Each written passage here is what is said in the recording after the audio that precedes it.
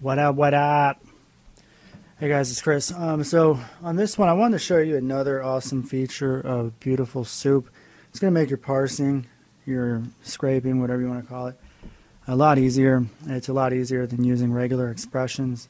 It can handle broken HTML, which um, surprising, but uh, a good amount of websites out there actually have broken HTML, you know, proper or improper closing tags, things like that, that can uh, break your parsing in regular using just regular expressions. So um, you can save yourself a huge headache by not dealing with that. Um, but let's go ahead and uh, we have let's go ahead and erase some of this stuff that we had before. And here's where we were finding all the p tags. Um, now we can do something like uh, body. Let me see something here. We're gonna, gonna copy and paste some code that I have here. So let's just say body and there's some text that I have that works pretty well with uh, something like Wikipedia. And we had parsed the Bayside Wikipedia page. So if I type that in again, here, the, here it is.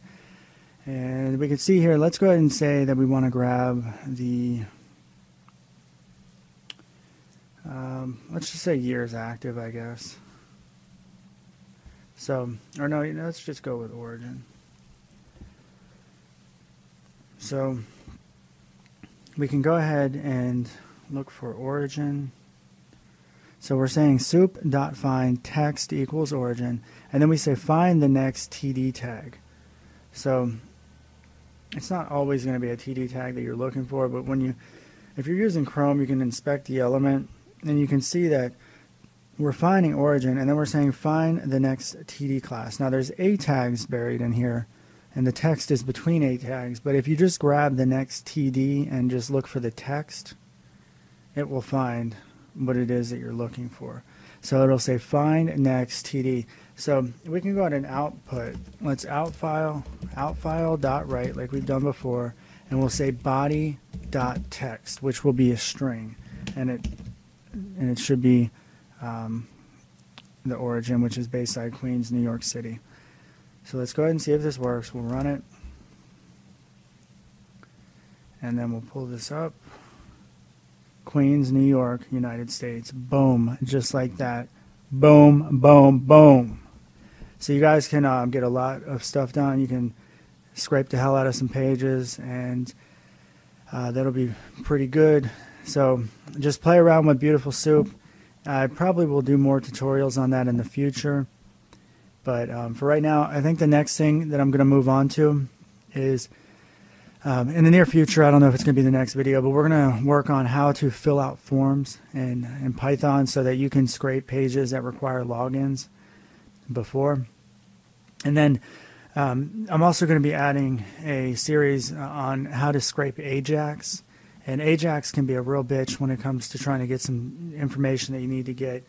Uh, because sometimes, you know, the, the easiest and sometimes the only way to grab it is by really not just replicating the user agent like we do here when we say we're a Mozilla browser. We have to actually use the browser to pull up the web page and allow the Ajax and JavaScript to load and execute in order to be able to retrieve data that we're looking for. So uh, there are some modules already built out there that make that a lot easier to deal with, and I'll teach you guys how to do that. Um, once you're able to scrape data like this, I mean, you know, the sky's the limit as to what you want to do with it. I mean, keep in mind that uh, data is you know proprietary. You can't just steal people's data, but you can, um, you know, use that data to kind of create your own unique uh, website.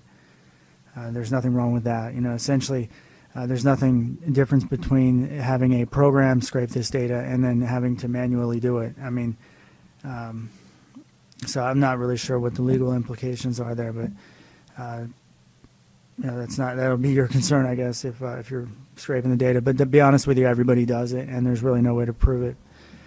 So anyway, I'll kill this video now, and uh, thank you guys for watching. Bye.